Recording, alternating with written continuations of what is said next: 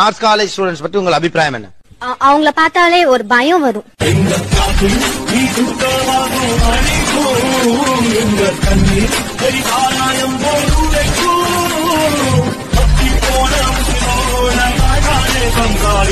ஒரு சப்பாத்தி கல்வி